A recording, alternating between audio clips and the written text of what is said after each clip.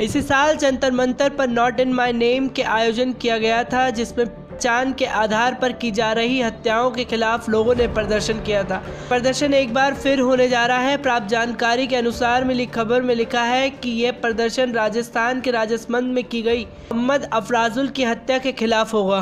में लिखा है कि भारत लहूलुहान है, खामोश रहने का वक्त खत्म हो चुका है। पश्चिम बंगाल के एक प्रवासी मजदूर अफराजुल इस्लाम की राजस्थान के राजसमंद शहर में निर्मम हत्या के अलावा नफरती लोग के ऐसे और भी हालिया मामले इस सच का ऐलान की। आज के दौर में भारत में अल्पसंख्यक, खासकर मुसलमान कितने असुरक्षित हैं? प्यारा शंभूलाल रेगर वीडियो पर हत्या को उचित ठहराते हुए ये कहता सुनाई देता है कि उसने ये कत्ल लवजिहात के नाम पर किया है। लवजिहात नाम के जहरीले प्यार के माफरत, नफरत के सौदागर ऐसे मुस्लिम पुरुषों को निशाने देने का काम करते हैं जिन किसी हिंदू महिला से मतिपूर्ण प्रेम संबंध है। टाइगर का ऐलान ठीक नथुराम गॉडसे के बयान जैसा मालूम होता है, जिसमें गॉडसे महात्मा गांधी की हत्या को उचित ठहराता है, दोनों ही नफरत के नाम पर की गई हत्या को उचित ठहराते हैं। दोनों को ही घृणित अपराध पर गर्व है।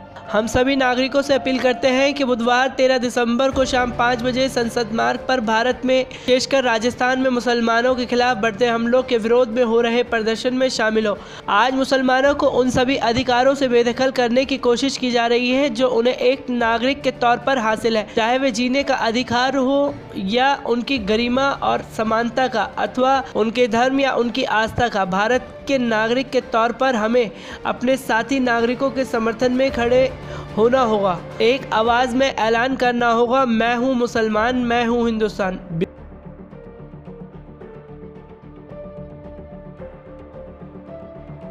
ब्यूरो रिपोर्ट, पलपल पल न्यूज़।